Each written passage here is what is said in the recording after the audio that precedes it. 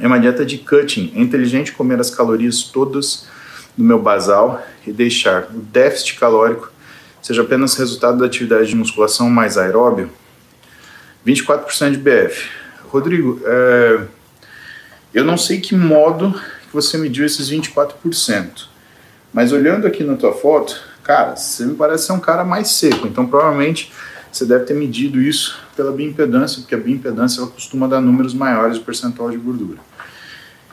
Eu prefiro assim, né? Então, quando existem situações de pessoas que treinam com objetivos atléticos, né? Em que eu preciso fazer uma rotina para ela que inclua, por exemplo, um déficit calórico, ou, por exemplo, um low carb, eu prefiro fazer treino twice a day.